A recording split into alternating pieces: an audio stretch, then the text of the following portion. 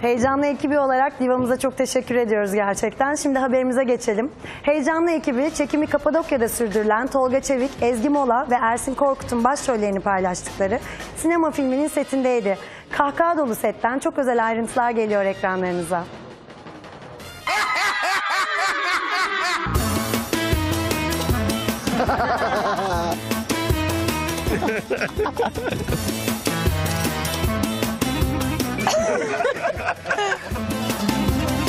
Kapadokya'da gülmeye hazır mısınız? Komik adam Tolga Çevik'le komik kız Ezgi Mola bir araya geldi. Kahkahalar havada uçuştu. Yemezler.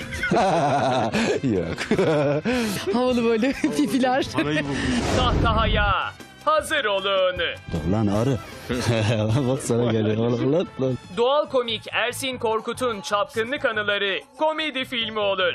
Ersin kızlar yüzünden neden cep telefonu kullanamıyor? Yoo, hemen yalanım ortaya çıkıyor. Senaryosunu Yılmaz Erdoğan'ın yazdığı Patron Mutlu Son İstiyor filminin Kapadokya'daki setine konuk oldu heyecanlı kameraları. Sınırsız eğlence sizi bekliyor.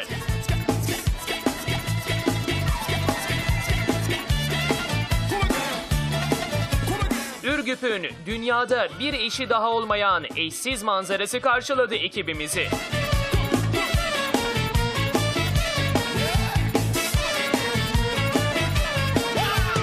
Bir aydır devam eden filmin final sahnelerinin çekimleri öncesi başrol oyuncuları Ezgi Mola ve Tolga Çevik'le birlikteyiz. İki komik bir araya gelince espriler havada uçuşuyor haliyle. Hoş geldiniz. Yabancı basın.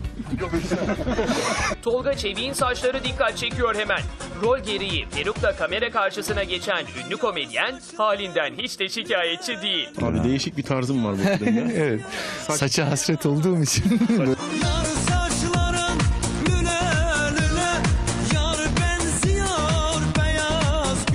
Peki abi saç ektirmeyi düşünüyor musun? Valla düşünüyorum bıktım çünkü böyle şeylerle uğraşmaktan ya. Ben de yapayım herkes yapıyor ya. Kapadokya'yı çok sevmiş. Emeklilik günlerini burada üzümlerin arasında değerlendirmeyi istiyor eşi ve çocuklarıyla. Bir bağın bahçen olsun ister misin? Valla çok istiyoruz. yatırımını Çok neye yapıyor çok mesela? çok istiyoruz. Ee, hani bunca yılın yorgunluğunu atmanız için şahane bir ortam. Özellikle de organik hayatı çok sevmiş. İstanbul'da kilosu 50-100 liradan satılan domatesler burada bedava. Trafikte yok. Oh ne rahat. Bir çekim yapacağız. Bir sokağa giriyoruz. Hop bir teyze çıkıyor oradan üzümlü. Öbürü çıkıyor domatesli. Yani hepsinin bahçesinde yetişiyor. Şahane bir hayat var. Kadıköy'den Taksim'e iki buçuk saatte geçtiğini düşününce hatırlayınca insan burada her yer 15 dakika. Çok güzel bir hayat var. Bol kahkahalı, bol üzümlü bir film olacağı benziyor. Filmin her yerinden salkım salkım üzüm fışkırıyor. Bir bağ bozumu sahnesi çekiliyor. Güzel güzel kızlar fıçıların içine girmiş, üzüm ezip şarap yapıyor. Görüntü hayli enteresan.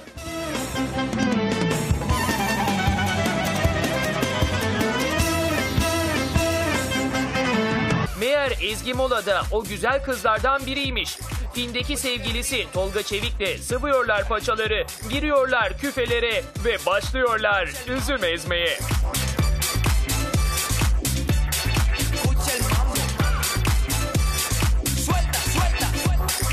Ve üzüm güzeli Ezgi Mola'nın yanındayız şimdi de. Üzüm bağı güzeli diyeceğim senin için. Hemen arkada böyle üzümler. Değil mi? Bağ güzelleri falan olur ya böyle biliyorsun. bu- Bunların çeşitli efsaneleri varmış Kapadokya'nın. Bağ güzelleri falan. Çalıştın mı bunu? Ne güzel bağladın. Tebrik ederim. Teşekkürler. Sağ ol valla. Dizilerde, sinemada, reklamlarda her yerde Ezgi Mola var şu ara. Kaprisli az solistleri hicvettiği son reklamıyla gündemde. Haberim yokmuş gibi şey. Beni yarınlara sizler getirdiniz. 2 milyonu aşkın follower'ım var. Çalışmadığı komik adamda kalmadı Ezgi Mola'nın. Daha önce Şahan Gökbakar'la Celal'le Ceren filmini çekmişti hatırlayacağınız üzere.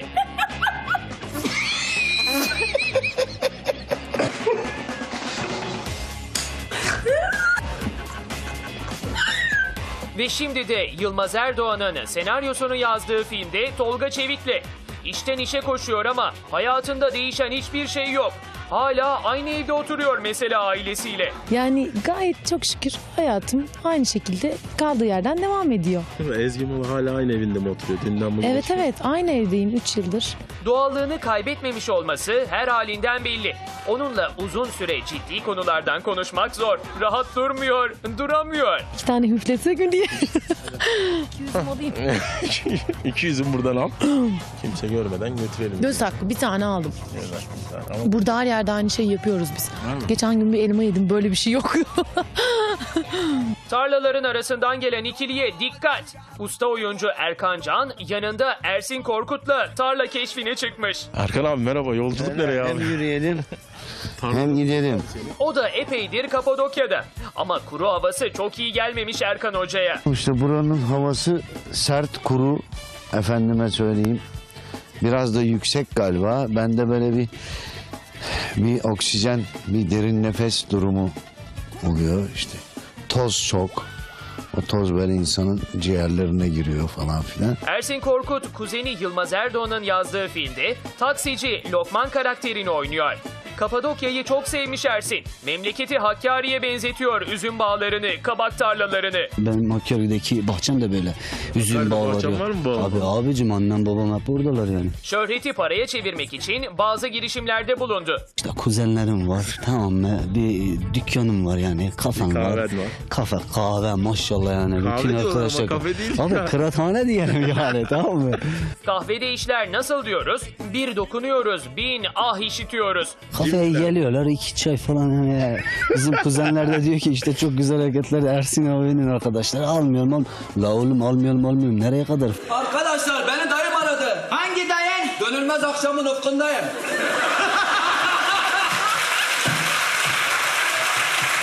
Şahin fişle kaçıyor. Şahin Irmak. Aşk olaylarına girelim diyoruz. Film kopuyor.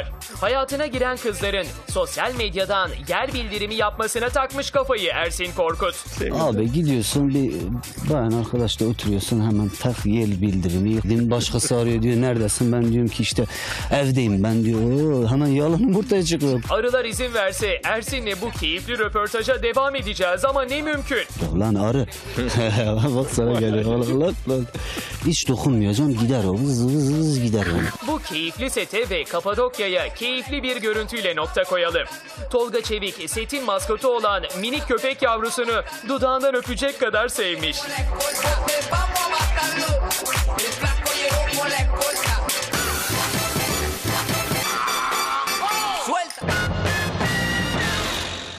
Aç aç gözünü aç doymak bilmiyor. Acılarını, En büyük acı özlemlerini o özlenmiş bitmiyor. ve korkularını Doktora gittim. Baktım bir şey var. Mavi Boncuk Emel Sayın'dan bu açıklamaları daha önce hiç duymadınız. Evlat sahibi olmak büyük bir zenginlik. Her şeyi ama her şeyi heyecanlıya anlattı. Kalbin acıyacak. Az sonra Senin aşkla imtihanın var. Tabii ki canım hiç hiç problem yok zaten. En önemli yani sadece benim için değil başka e, Ivana çok sert. Sustu sustu. Sonunda patladı. sapık bir şey oldu. Eski eşi için ona sevgili bulurum dedi mi? E, düşman değiliz birbirisine. Ünlü modacı Ivana Sert içini heyecanlıya döktü. Bu açıklamalar manşet devirecek.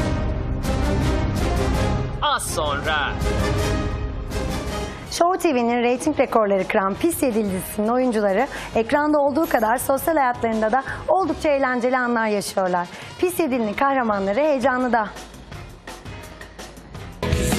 Giderim gelmem belki yağmur olup yarın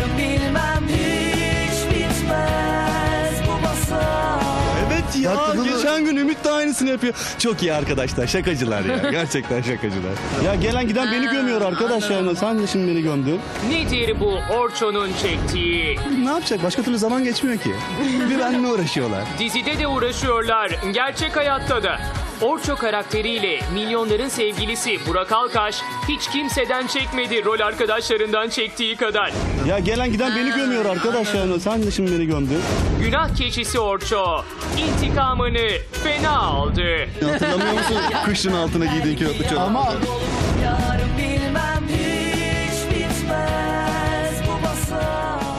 Milyonların Show TV ekranında beğeniyle izlediği Pis Yedili dizisinin sevimli karakteri Orço, gerçek adıyla Burak Alkaş en çok uğraşılan isimlerin başında geliyor. Ne zaman bir röportaja gitsek herkes mutlaka Burak Alkaş hakkında bir şeyler söylüyor. Biz de bu işin sırrını merak ettik ve sete gittik. Muhabirimiz Fatih hiç lafı dolandırmadan konuya giriyor. Sahi nedir bu Orço ile alıp veremediğiniz yahu? evet ya geçen gün Ümit de aynısını yapıyor. Çok iyi arkadaşlar şakacılar ya. Gerçekten şakacılar. Gerçekten de öyle. Herkes Orço'yla yani Burak Alkaç'la uğraşıyor. Var bunun bir sebebi ama. Ya gelen giden beni gömüyor arkadaş yani. Sen de şimdi beni gömdün. İşin Bizden vurma yaşlı gömme bu olsa- tabirleri bilmediğim için anlayamadım. Ha, yani. Yani Valla gömdün Burak'ı çok seviyoruz. Arkasından- Orço'yu da çok seviyorlar zaten. İşin rengi şimdi anlaşıldı. Sevgiden yani. Hmm. Bu arada biz sohbete devam ederken yanımıza Halil Babür, namı diğer Trafo geliyor ama nefes nefese. 3 puan önemli. Yani sıkıntılı bir maçtı bizim için. Hayırdır Trafo? Ne 3 puanı? Maç değil mi? Maç için gelmediniz mi? maç için değil mi? Maç için evet maç için. Kayseri her Çanakkale Dardanel maçı. Alem çocuklar gerçekten ne diyelim. Bizim Fatih bambaşka bir konu açıyor o dakikalarda. Yalnız sohbetin sonunu iyi dinleyin. Zira Orço Trafo'dan intikamını fena alıyor. Bayanlarından çok neyinden şikayet? Ee, çok üşüyorlar abi. Evet değil mi? Yani doğal olarak kostümleri falan da bizden tabii daha e, elverişsiz oluyor. Ben de katılıyorum gerçekten. Üşümelerinden şikayetçiyim ben de. Yine Orço'ya vurdular. Gerçekten günah keçisi bu çocuk ama Eda Ece'den aldığı pas sayesinde Burak Alkaş Halil Babür'e öyle bir gol atıyor ki. Aynı zorlukları yaşıyoruz. Halil de üşüyor herhalde. Bilmiyorum üşümüyor mu? Aldınız mı pası?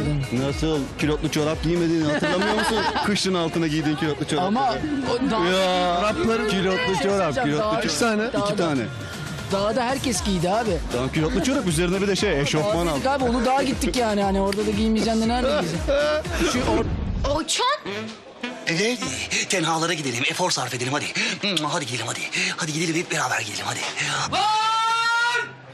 Ya öldüreceğim ulan seni. Ay güzel abicim. Gel oyunu abicim benim. Aman aman aman. Tüm kirli çamaşırlar döküldü ortaya. E bu kadar uğraşırsanız çocukla olacağı budur işte.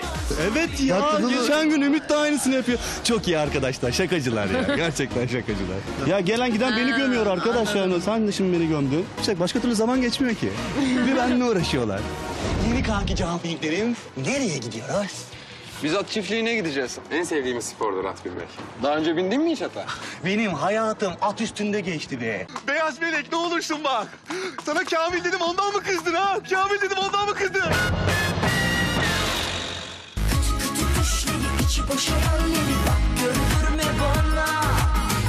Bir ayda 10 kilo verdi. Üstelik her şeyi yiyerek. Kendini seven ve sayan bir insan yanlış beslenmez. Ve Gülben Ergen'in hayatını değiştiren çiçek hangisi? Çiçek benim hayatımda da bir şekilde bir çiçek oluyor. Az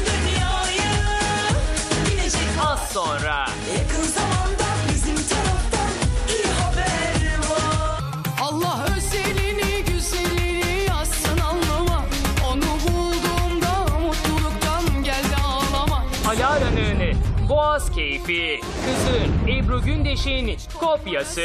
Çünkü varlığınla yokluğunla sen harikasın Ebru Gündeş'in 2 yaşındaki kızı Alara'nın Boğaz turunda neler oldu neler. Mutluluktan geldi ağlama Çok özel görüntüler. Gel sarıl bana Az sonra. istiyorum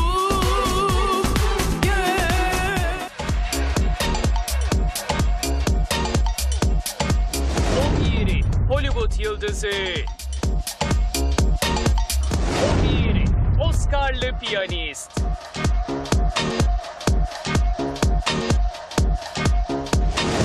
Piyanistin Oscar'lı starı Adrian Brody'nin çok özel bu görüntüleri sadece heyecanlıda. Az sonra.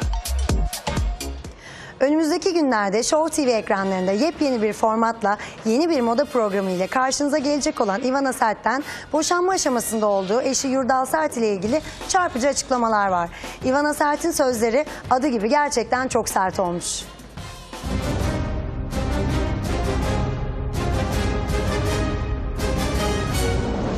Ivana çok sert. Sustu sustu. Sonunda patladı. Sapık bir şey oldu. Eski eşi için ona sevgili bulurum dedi mi? Ee, düşman değiliz birbirisine. Yurdal Sert'in sevgililerini kıskanıyor mu? Ünlü modacı Ivana Sert içini heyecanlıya döktü. Bu açıklamalar manşet devirecek.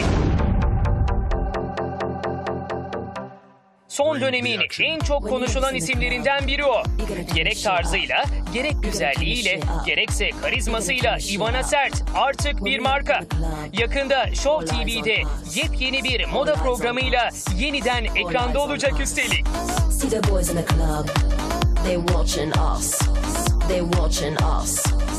Ancak biten evliliği ve eski eşinin çapkınlıklarıyla sık sık magazin manşetlerinde adını okuyoruz. All eyes on us. Eşiyle gündemde olan ve anneliğiyle örnek olmayı başaran Ivana Sert, hakkında yapılan son habere isyan etti.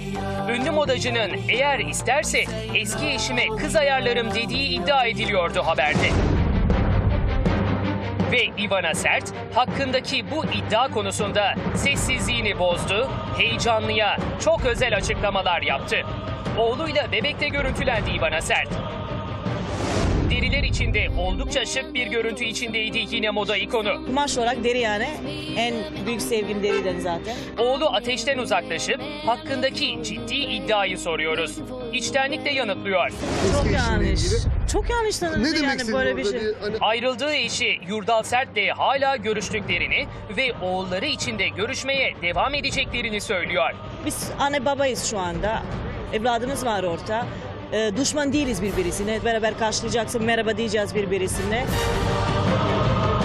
Peki ya Yurdal Sert'in hayatına giren diğer kadınlar? Onlarla ilgili ne düşünüyor? Sevgilisi yanında olduğunu kıskanma böyle bir durum yok. Ne demek istedim? Yani o sevgilisi bile tanışabilirim yani. Yurdal Sert'i kıskandığı, geri dönmek istediği de iddia edildi durdu.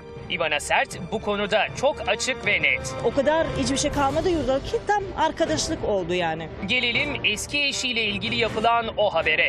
Sapıkça buluyor yazılanları. Ee, yurdadan sevgiler bulmaya çalışacağım falan filan böyle bir sapık bir şey oldu. Türkçesi yetersiz olduğu için yanlış anlaşıldığını, bu yüzden böyle bir haber çıktığını düşünüyor.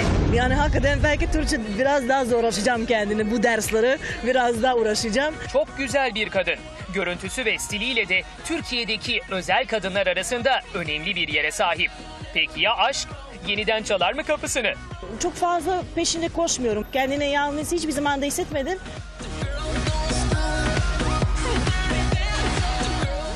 Son olarak Ateş'in anne ve babasının ayrı olmasına nasıl tepki verdiğini soruyoruz. Kabul etti zaten. Yurda zaten benim evime iki buçuk senede önce çıktı.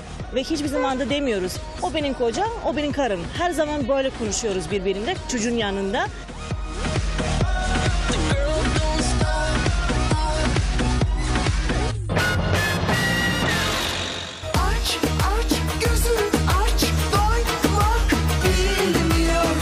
Acılarını, En büyük acı özlemlerini o özlenmiş bitmiyor. ve korkularını Doktora gittim. Baktım bir şey var. Mavi Boncuk Emel Sayın'dan bu açıklamaları daha önce hiç duymadınız. Evlat sahibi olmak büyük bir zenginlik. Her şeyi ama her şeyi heyecanlıya anlattı. Kalbim hep acıyacak. Az sonra Senin aşkla imtihanın var. Allah özelini güzelini yazsın anlama. Onu bulduğumda mutluluktan geldi ağlama. Alara'nın Boğaz Keyfi, kızı Ebru Gündeş'in kopyası. Çünkü varlığınla yokluğunla sen harikasın. Ebru Gündeş'in 2 yaşındaki kızı Alara'nın Boğaz turunda neler oldu neler. Bunda Çok özel görüntüler. Gel sarıl bana. Az sonra. İstiyorum.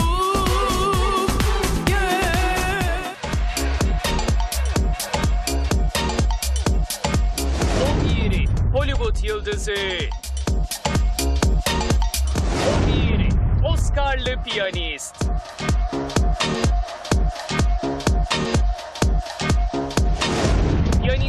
Oscar'lı starı Adrian Brody'nin çok özel bu görüntüleri sadece heyecanlıda.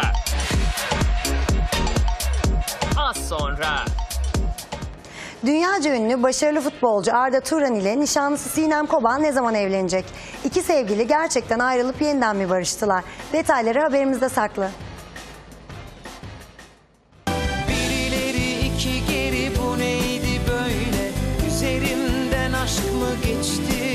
Ayrıldılar, ayrılıyorlar, barıştılar derken aşkları yılan hikayesine dönen Arda Turan ve Sinem Kobal nihayet evleniyor.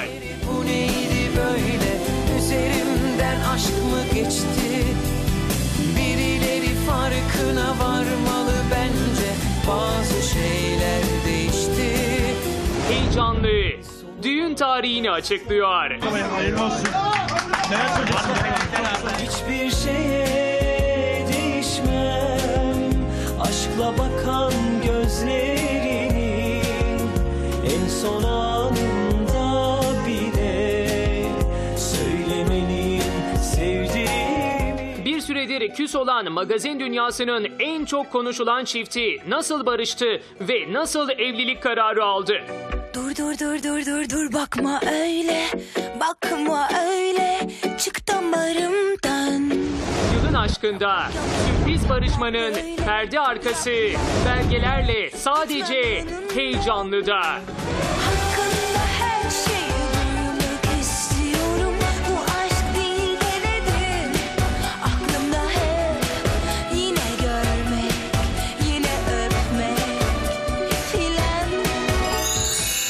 Onlar şov dünyasının en çok konuşulan çifti. Biri ünlü bir futbol yıldızı, diğeri dizilerin genç ve güzel yıldızı. Aşkları iki yıl önce başladığında magazin dünyasında bir bomba patladı. Denize açıldım sevmeye, sevilmeye Anladım sevmek gibisi yok Herkes çifti birbirine çok yakıştırıyor, her yerde onların aşkı konuşuluyordu. Bir dargın, bir küs ilişkileri defalarca tehlikeye giren çift, geçtiğimiz yılın son aylarında ünlü isimlerin ve aile fertlerinin de katıldığı bir yemekte nişanlanmışlardı. İnan,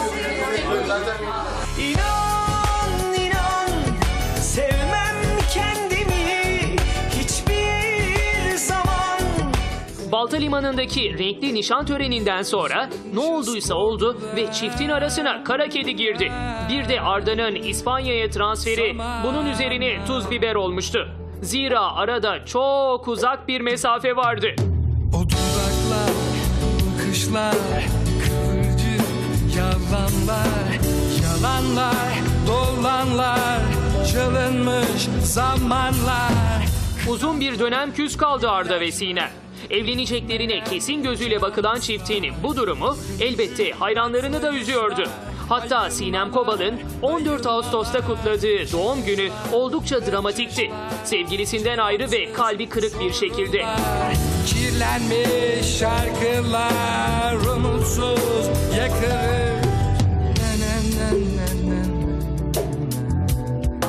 Fotoğraflarda Sinem Kobal'ın pastanın mumlarını üflerken ne dilediği aşikardı aslında. Hayatının aşkına bir an önce kavuşmak. Gel gözlerim tekrar açılsın Ruhuma çiçekler saçılsın Bekliyorum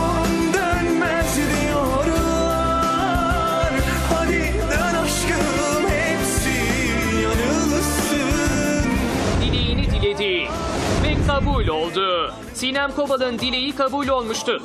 Arda Turan'la barışan Sinem Kobal apar topar kız arkadaşlarıyla İspanya'ya gitti ve sevgilisinin evinin bahçesinde işte bu mutlu kareyi vermeyi ihmal etmedi. O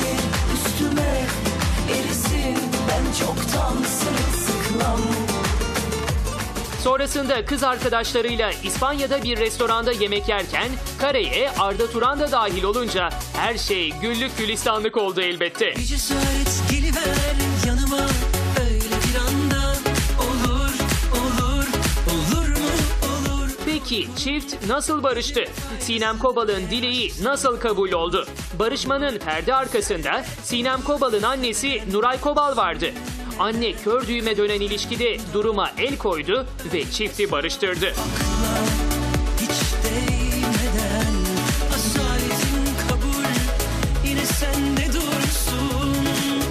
Ve barışmanın ardından nihayet beklenen açıklama geldi.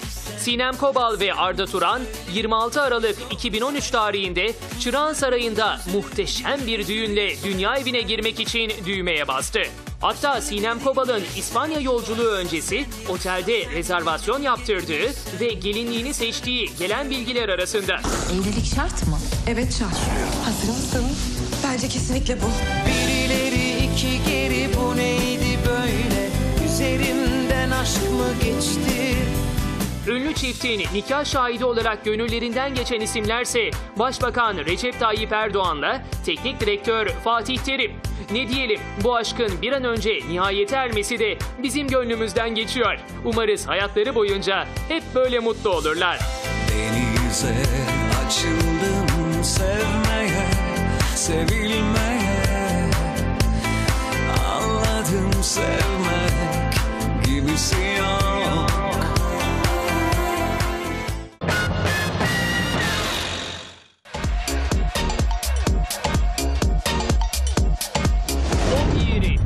Hollywood yıldızı.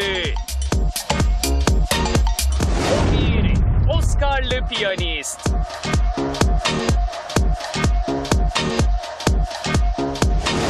Piyanistin Oscar'lı starı Adrian Brody'nin çok özel bu görüntüleri sadece heyecanlıda. Az sonra. İşte heyecanlıdan bir bomba daha. Ebru Gündeş'in minik kızı Alara nasıl boğaz keyfi yaptı? Allah özelini güzelini yazsın alnıma Onu bulduğumda mutluluktan geldi ağlama Alara'nın Boğaz Keyfi, kızı Ebru Gündeş'in kopyası. Çünkü varlığınla yokluğunla sen harikasın Ebru Gündeş'in 2 yaşındaki kızı Alara'nın Boğaz turunda neler oldu neler. Mutluluktan geldi ağlama Çok özel görüntüler. Gel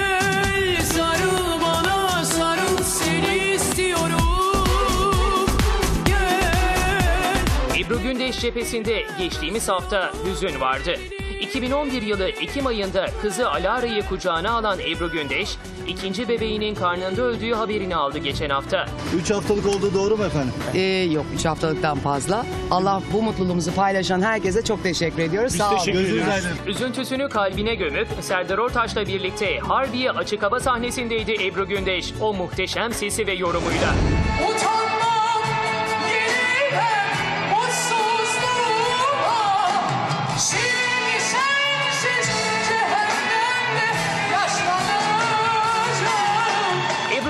Gündeş'in bu konserinden birkaç gün sonra çok ilginç bir görüntü ulaştı heyecanlıya. Emirgan Kanlıca arası çalışan ticari deniz motorlarından birinde çekilmişti bu görüntü. Başrolde Ebru Gündeş, Reza Zarrab çiftinin 2 yaşındaki kızları Alara vardı. Deliyim gözü kara deliyim Yakarım Roma'yı da yakarım Ben Bilindiği gibi Ebru Gündeş ailesiyle Kanlıca sahilindeki paha biçilmez ikiz villalarda yaşıyor. Alara bakıcılarının kucağında Kanlıca'daki yalıdan çıktı, Emirgan sahilinde gezmeye gitti. Üstelik halkın arasında ticari boğaz motorlarıyla geçti karşıya. Aklım sende kalıyor gözden uzak olunca Omuzunda Yaz havası alan minik Alara'nın sevimli halleri motordaki müşterilerin ilgi odağı oldu. Görüntüden anlaşılamıyor ama bakıcıları Alara'nın yolculuk boyunca keyiften şarkılar söylediğini belirtti. Adını dağlara taşlara yazdım Sen benim en büyük aşkımsın Aşkım Belli ki Alara annesinin izinden gidiyor. Umarız annesi gibi sesi, yorumu ve güzelliğiyle ülkenin aranan starlarından biri olur. Söylüyorum evet istiyorum evet Seviyorum aşığım sana Serdar Ortaç ve Ebru Gündeş'in müthiş düeti. Türkan Şoray'ı böyle kim heyecanlandırdı? Şimdi gece turuna çıkıyoruz. İstanbul geceleri.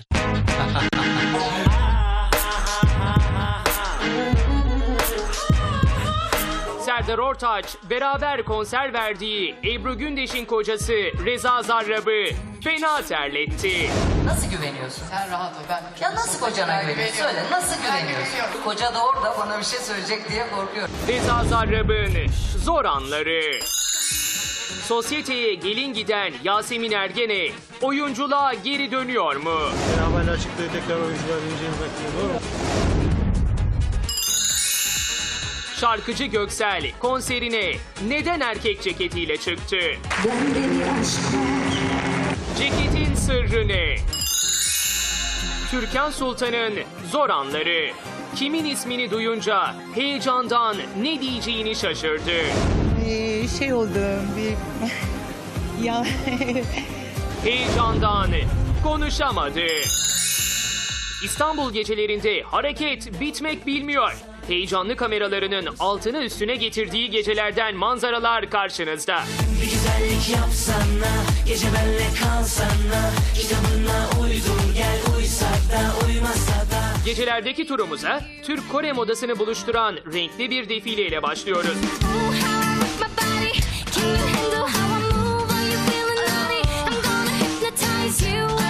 Defilenin baş mankeni Hande Subaşı'ydı. Güzel oyuncu eski mesleği mankenliğe sadece özel defilelerle geri döndüğünü söyledi. Ara sıra zaten e, şey oluyor böyle güzel hoşuma giden işler olunca e, çıkıyorum. Tolga Karel de defilenin konukları arasında.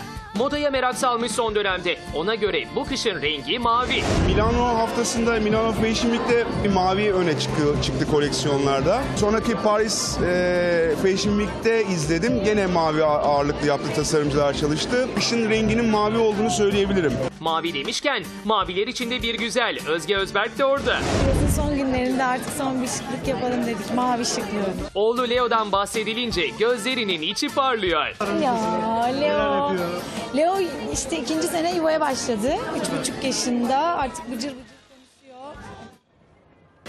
Sırada gecenin haberi var. Yılların eskitemediği mavi boncuğumuz Emel Sayın'ın samimi itirafları gözlerinizi dolduracak. Duygusal bir o kadar da dramatik röportajımızda Emel Hanım'ı hiç böyle görmemiştik.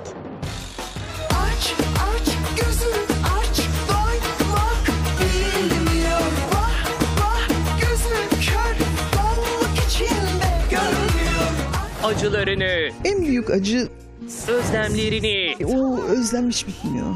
ve korkularını. Doktora gittim. Baktım bir şey var. Mavi Boncuk Emel Sayın'dan bu açıklamaları daha önce hiç duymadınız. Bu konuda çok hassasım. Perişan hep gönüller. Hayata dair tüm sırlarını, Evlat sahibi olmak büyük bir zenginlik. her şeyi ama her şeyi heyecanlıya anlattı. Kalbin hep acıyacak Senin aşkla imtihanın var Gülmem kolay olmayacak Ama hala imkanın var Yıllar geçse de değişmeyen, eskimeyen ve bozulmayan bir güzellik. Ve olağanüstü bir ses. Sahnede yılları devirmiş bir usta. Evet, Emel Sayın içini sadece ve sadece heyecanlıya döktü. Mavi Boncuk şarkısını ilk okuduğu yıllardaki o ses rengi hiç ama hiç değişmedi. Onda bunda şundadır, şunda onda bundadır. Mavi boncuk kimdeyse benim gönlüm ondadır. Peki bu nasıl mümkün olabiliyor? Nasıl oluyor da yıllar geçse de Emel Sayın sesini muhafaza edebiliyor? E, hala aynı tonlarda e, okuyabiliyorum. Yani 30 yıl önce hangi tonda okuyorsam o şarkıları yine aynı tonlarda okuyorum. Onda bunda şundadır, şunda bunda ondadır. Mavi boncuk kimdeyse benim gönlüm orada. Sırrını açıklamadı Emel Sayın. Biz daha net cevaplar istiyoruz kendisinden. Sigara içmem, hiç içmedim. Hiç kullanmadım.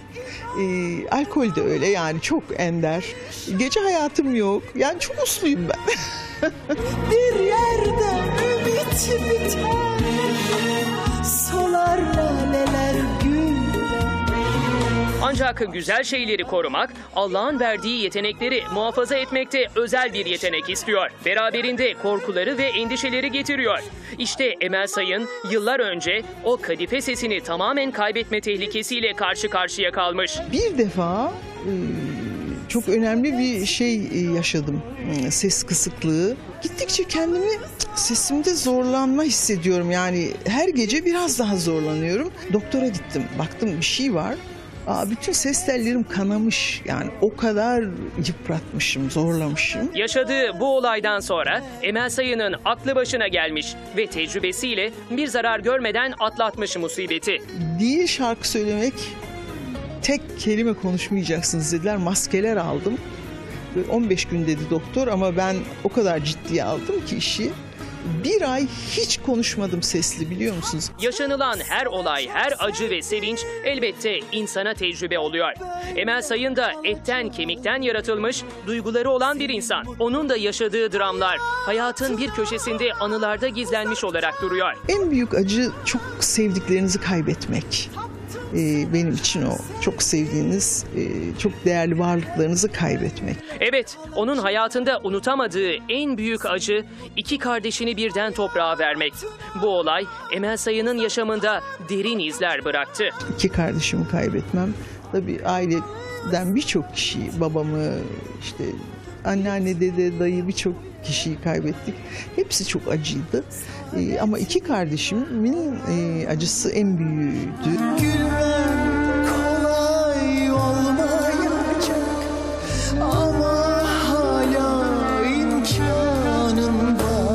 Emel Sayın büyük bir özlem duyuyor haliyle giden kardeşlerinin ardından.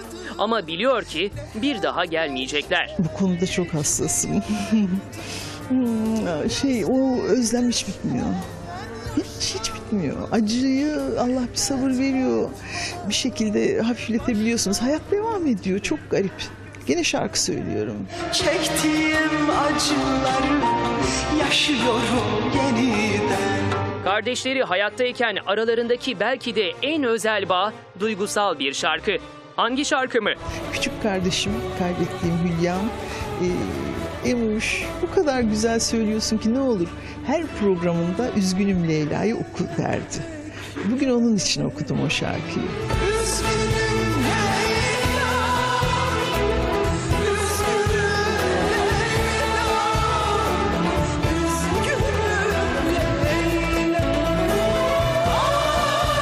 Hani derler ya yalnızlık Allah'a mahsustur diye.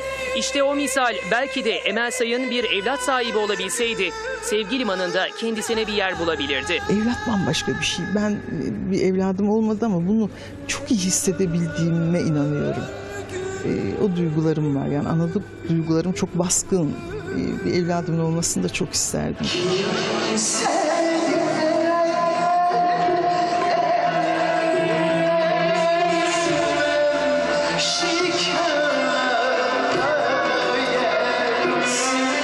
Şey bir yana Emel Sayın'ın o gülen yüzü hiç solmasın diyor ve kendisine bu çok özel açıklamalar için teşekkür ediyoruz. İyi ki varsın usta. Bir ömrümüz var, bir süremiz var. Keşke daha çok onu gülerek, gülümseyerek yaşayabilsek. Kulağından girip ötekinden çık çık çıkıveriyor. Hep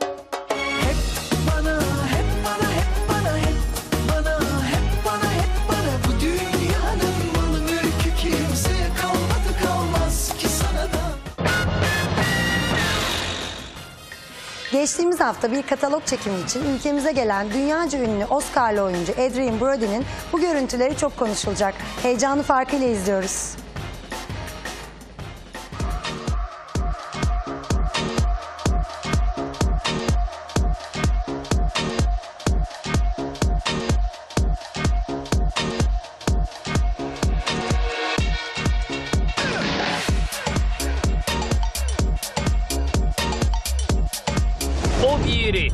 Hollywood yıldızı.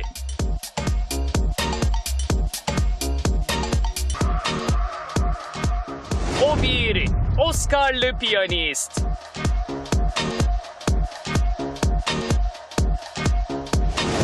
Piyanistin Oscar'lı starı Adrian Brody'nin çok özel bu görüntüleri sadece heyecanlıda.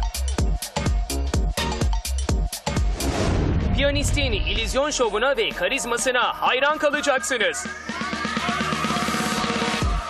Geçtiğimiz hafta bir katalog çekimi için İstanbul'a gelen Oscar'lı yıldız Adrian Brody, çıktığı eğlencede dansözlerle göbek atarak mütevazılığını göstermişti. Piyanist filmiyle tüm dünyanın hayran olduğu Adrian Brody'nin katalog çekiminden çok özel görüntülere heyecanlı ulaştı.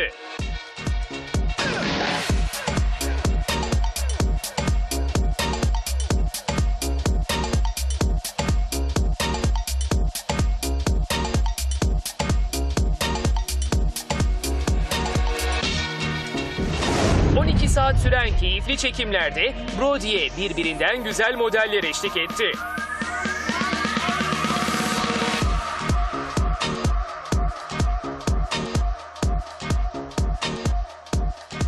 Avusturya Başkonsolosluğu'nda yapılan çekimlerde Adrian Brody iyi bir oyuncu olduğu kadar başarılı da bir model olduğunu gösterdi.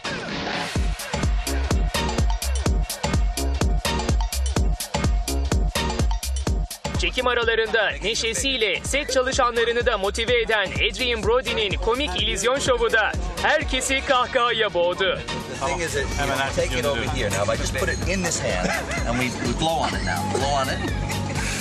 And then it just disappears. Piyanist su dolu küvete şık takım elbisesiyle girince ortaya bu ilginç görüntü çıktı. Sevgilisi Lara Lieto da ünlü oyuncuyu çekimler boyunca yalnız bırakmadı. Kısaca karizmasıyla, yeteneğiyle ve sempatisiyle İstanbul'dan bir piyanist geçti.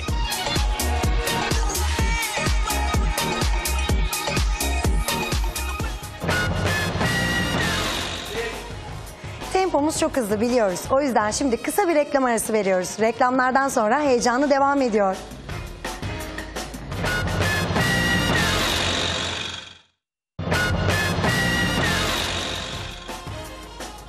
Magazin gündemine dair ne varsa hepsini yine ekranların tek magazin haber programı Heyecanı Farkıyla izlediniz. Haftaya aynı saatte Show TV ekranlarında buluşmak dileğiyle. Hoşçakalın.